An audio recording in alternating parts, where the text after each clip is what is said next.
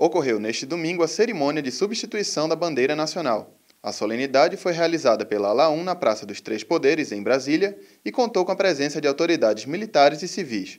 O comandante da unidade, Brigadeiro do Ar Ari Soares Mesquita, falou sobre a importância do momento. Esse momento é muito importante, não só para a Força Aérea, mas em especial para o povo brasileiro. Momento comemoramos 144 anos de Alberto Santos Dumont, nós o fazemos com muita alegria com especial orgulho desse cidadão brasileiro que está tem seu nome escrito no livro de aço do nosso país, uma das maiores celebridades que nós, nós temos. Então é uma alegria, uma honra e um orgulho para todos nós podermos celebrar o aniversário de Santos Dumont.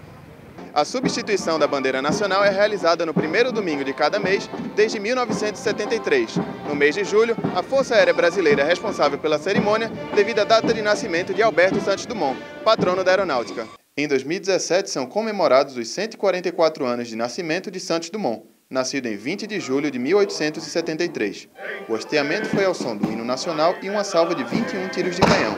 A formatura, presidida pelo comandante da aeronáutica, tenente brigadeiro do ar Nivaldo Luiz Rossato, teve desfile de sete grupamentos, bandeiras históricas e pelotão de cães de guerra. Certamente que a imagem de Santos Dumont, tudo que ele fez no passado, não só pela Força Aérea, como pelo Brasil, pela aviação em geral, não pode ser esquecida.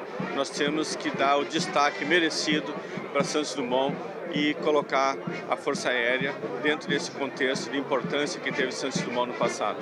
A solenidade de substituição da bandeira nacional é realizada através de um revezamento entre Exército, Marinha, Aeronáutica, Polícia Militar e Corpo de Bombeiros Militar do Distrito Federal. Vim para Brasília para conhecer a capital, é, para encontrar algumas amigas que também vieram de outros estados, outras cidades. E nós tivemos a sorte de descobrir que no primeiro domingo, cheguei ontem, que no primeiro domingo do mês tem a troca da bandeira. Então viemos para para conhecer esse momento. Várias de Brasília também não conheciam essa, nunca tiveram oportunidade de vir para a troca da bandeira. Foi um, uma cerimônia muito bonita.